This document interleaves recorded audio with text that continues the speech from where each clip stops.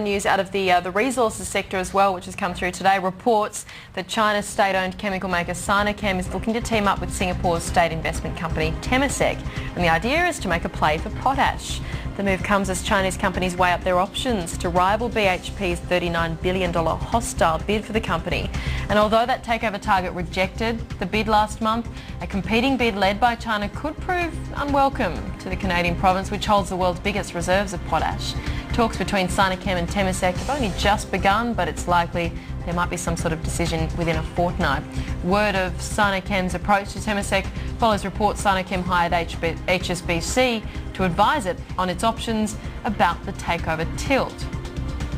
BHP at $37.94, which is down 1.3%.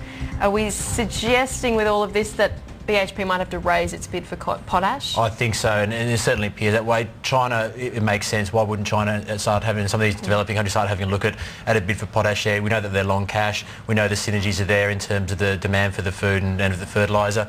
Um, so look, I think that there, there, are some good synergies there.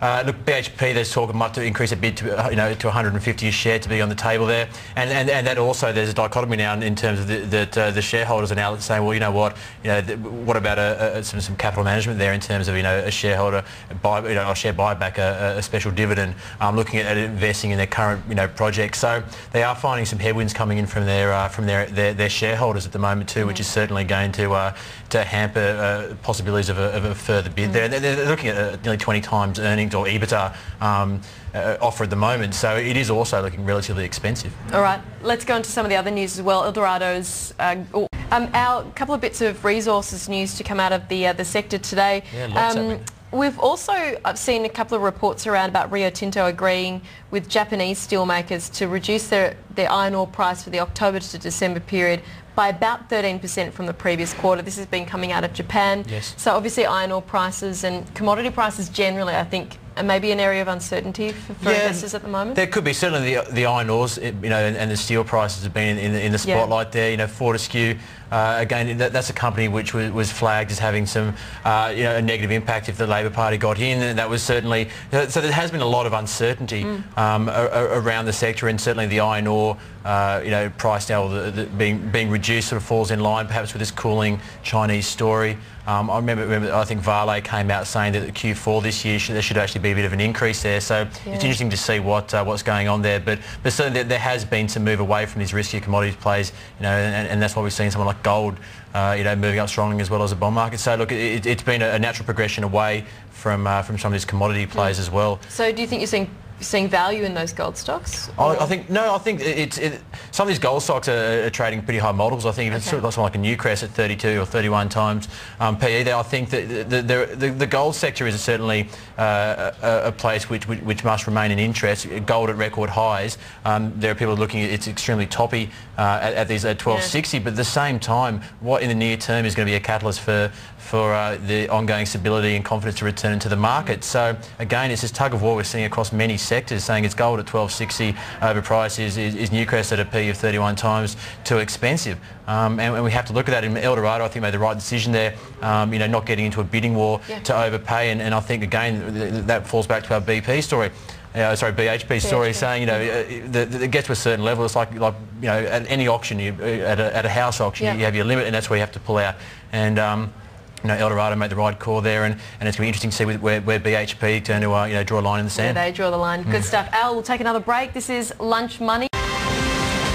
Welcome back to Lunch Money. We're joined this hour by Al Fullerton from Aliom Financial Markets. Let's mention the Australian share market at lunchtime here. The S&P ASX 200 down by 27 points, which is about a 0.6% decline and a 0.6% loss also for the All Ords. On the blue chip stocks, BHP is down one and a quarter percent. Look at Brambles steady at $5.94. Commonwealth Bank down by 1.2%. Here you're seeing Foster's Group up 30 cents, which is still a 4.8% rise. You're looking at uh, also Qantas gaining a cent, $2.54. QBE 11 cents weaker at 17.56. Rio Tinto, a one and a quarter percent decline to 73.42. Telstra still up three cents, 288. Wesfarmers up four cents at 33.37. That's about a 0.1% rise and a 0.1% gain also for Woolworths at 29.04. Now, Foster's has knocked back a bid for the assets of its Treasury Wine Estates business, the division which houses its wine brands. The bid came from an international private equity firm, a cash offer of between 2.3 and 2.7 billion dollars. But Foster says the bid significantly undervalues the assets, which it plans to demerge from its beer unit. Foster's maintains that the spin-off is the best option for shareholders, especially given the fact that the wine transformation plan is beginning to bear fruit. The board does, however, say it would consider any proposal if it is in the best interests of shareholders. There's the shares again, up 30 cents at 6.37. Al from Aliom Financial Markets. Um, there's an issue there about whether the demerger is in the best interest of shareholders. Yes. I suppose. I guess the price might determine whether I think there's so. uh, there's a better option there. Well, it seems to be the right thing to do, knock back your first your first offer anyway, BHP, Potash, so that, that happened. We've seen it on numerous occasions there. So, um, you know, again, we don't know who the, who the private equity uh, player was, where they're from. Um, you know, we've seen obviously the, the, the discussions with the Napa Valley for their wine business there. We've seen rumours a couple of weeks ago of, uh, of SABMiller coming in for the beer division. So it's been a very uh, a choppy month for the uh, for the stock. You know, it's a real iconic Australian stock. You know, it's held a number of super funds. It's it's been badly managed. It's been it's been Yeah. a, a pretty bad run for, for the stock. And so you, you might sort of start seeing now that we're coming to there's a glimmer of hope, maybe perhaps appearing around Foster's that that um, you know over the coming months it may actually uh, end up. uh, I suppose cutting down to its core assets and, and, and, and moving forward be a be a stock that, that, that perhaps is uh, is relatively profitable. Is you is this a stock though that you would put money when you say glimmer of hope? Do you put money on a stock which just has a bit of a glimmer of hope? Yeah, look, I, I, I, I I have, have uh, any of my clients that no, I, I, I don't, uh, I don't, I don't touch the sort of Fosters. It was once looked at as a um, somewhat of a defensive play, th- th- those sort of stocks, and, and, and that hasn't really been proven right. The wine business, it seems uh, time in and time out, it's been an extremely tough place to manage for, for listed company. The beer divisions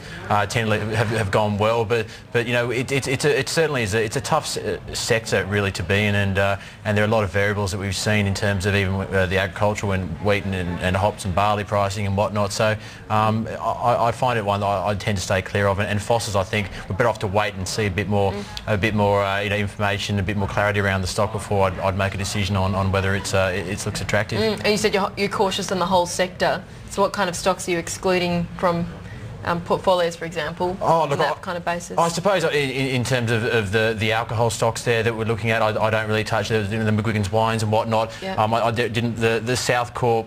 It, it muddled on for a long time. Mm. I, I, I think that if you're looking at you want to play that side, that perhaps you know you play your Woolworths or your Wesfarmers who have who have exposure to the bottle shops and, and, and perhaps the, the more the end product Mm. there. And, and I think that's good, that's a far better play if you do want to look at that uh, those consumer type stocks. So uh, yeah, Wessy's, Woolworths, they'd certainly be the, the two I'd look at. Good stuff. All right. Well, Standard and Poor's.